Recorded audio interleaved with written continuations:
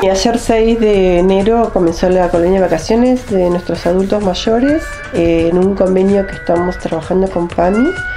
Eh, de hecho siempre hemos tenido gente afiliada a PAMI dentro del grupo de adultos mayores del municipio, pero ahora bueno, se logró hacer un convenio para aportes económicos para la colonia. Tenemos dos días con una profesora de danza teatro Carolina Barassi Pega.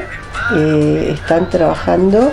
Ayer, bueno, comenzaron con este baile, danzas, van a tener shiatsu, eh, vamos a mirar al tai chi, y caminatas y bueno y juegos, todo relacionado con esta profesora. Y va a estar Patricia Díaz como profesora de educación física, que siempre ha trabajado con los adultos mayores en actividades en la playa, actividades físicas eh, dentro del quincho. Y cuando nos traslademos al, eh, se va a trasladar la colonia al centro de jubilados, vamos a tener la posibilidad de armar las canchas afuera, usar canchas de bocha, de tejo, sapo, caminatas alrededor, eh, van a hacer caminatas también hasta el, hasta el puerto, caminatas al centro, siempre y cuando el clima sea conveniente para que ellos puedan estar afuera, tener actividades afuera, al aire libre. Y los días de lluvia, ya que en el centro de jubilados se daba cine, podemos ver algunas películas y hacer charlas, discusión este, meriendas con ellos. Muy felices de tener tantas actividades todos los días, eh, sobre todo porque son cosas nuevas que ellos están haciendo. El tema de tener danza teatro, que no han tenido en estos últimos años, este, les gustó mucho el tema de poder hacer esta actividad de shiatsu que hace que es una actividad de relajación, movilización de las articulaciones en forma este, individual, eh, que es también para la gente con discapacidad. Tenemos adultos mayores que no pueden movilizarse por su cuenta, eh, trabajaron en pareja con otros adultos y les encantó.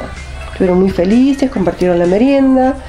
Eh, la merienda consiste en té con leche o un mate cocido con leche y masas, galletitas y está adecuada para la dieta de... Algunos tienen dietas especiales, entonces se les adecua la merienda a esta a su enfermedad, ¿no? Su patología.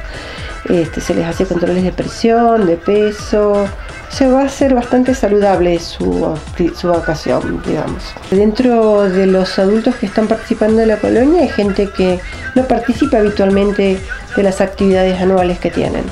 O sea que para algunos es la primera vez que participan.